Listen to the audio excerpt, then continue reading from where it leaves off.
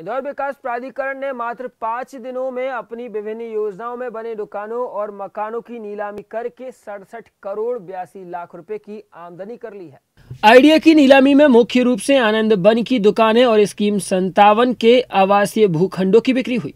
Scheme number 140 से 1425 वर्ग metre के स्कूल भवन की नीलामी करके आईडीए को चार करोड़ छियासी लाख रुपए की आय हुई। यहीं के छब्बीस वर्ग मीटर में बने आरसीएम नौ आवासीय और सेमी कमर्शियल भवन की बिक्री उनतीस करोड़ चौरासी लाख रुपए मिले।